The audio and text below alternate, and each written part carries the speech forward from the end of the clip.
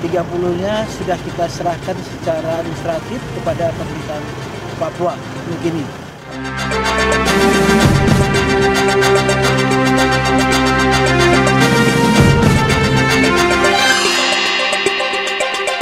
Tiga puluh orang WNA asal PNJ dipulangkan lewat PLBN SCO.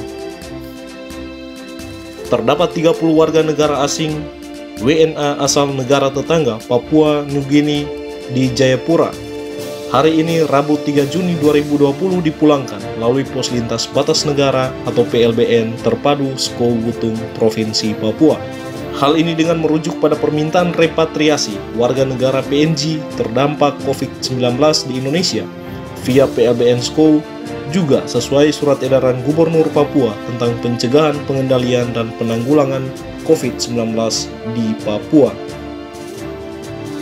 Oleh karenanya, sekitar 30 orang warga negara asing asal PNJ tersebut resmi dipulangkan melalui PLBN SKO di Wutung hari ini.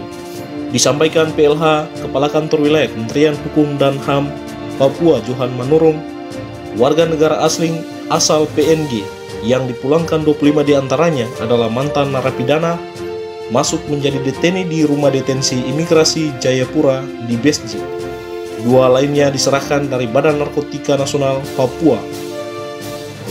Dan lima, izin tinggal terbatasnya telah habis waktunya. 25 yang ex narapidana yang masuk ke jadi deteni di imigrasi di Rudenim. Kemudian ada dua yang kita biasa pak ya 23 nasional, dua yang ah, dua yang apa serahan dari BNN. serahan BNN, kemudian ada lima yang izin tinggal terbatasnya habis. 30 orang WNA asal PNJ telah kami serahkan secara administratif kepada pemerintah Papua New Guinea, ungkap Johan Manurung. Pulangan dari tadi dari pagi tadi sejak dari Rudenim sampai ke Sko ini sudah berjalan dengan lancar. 30-nya sudah kita serahkan secara administratif kepada pemerintahan Papua New Guinea.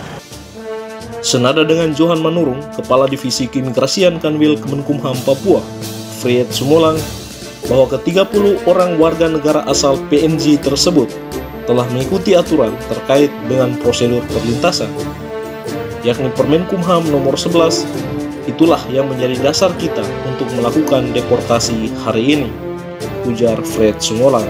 Ya, jadi ini proses ini untuk pemulangan 23 X narapidana, kemudian dua serahan dari BNNT, kemudian lima ini pemegang izin tinggal. Ah, ini adalah mengikuti aturan yang ada terkait dengan prosedur perlintasan. Permenkum nomor 11 itu dasar kita, patokan kita untuk me- melakukan ah, deportasi. Dikatakan lebih lanjut, 30 orang WNA tersebut tentunya mengikuti aturan-aturan protokol kesehatan yang ada, yang mana telah diikuti sejak dari rumah detensi imigrasi saat menjadi deteni dan penyerahan di kantor imigrasi Jayapura untuk melakukan clearance out untuk selanjutnya dipulangkan ke negara asalnya. ya. Nah, semuanya ini tentu mengikuti aturan-aturan protokol kesehatan yang ada, ya. Dan itu kita ikuti sejak dari rumah detensi imigrasi ketika mereka menjadi deteni sampai pada saat uh, penyerahan ke kantor imigrasi untuk dilakukan clearance, clearance out Fred Sumolang dalam penjelasannya mengatakan warga negara PNJ tersebut ketika diperiksa rapid test, tiga di antaranya dinyatakan reaktif. Tetapi setelah dilakukan pemeriksaan lanjutan, yakni tes swab, ternyata negatif sehingga diperbolehkan untuk melintas. Sesuai dengan protokol kesehatan, maka semuanya itu diperiksa rapid test. Awalnya memang ada tiga yang eh, reaktif, tetapi setelah PCR, swab itu ternyata negatif dan mereka itu diperbolehkan untuk melintas.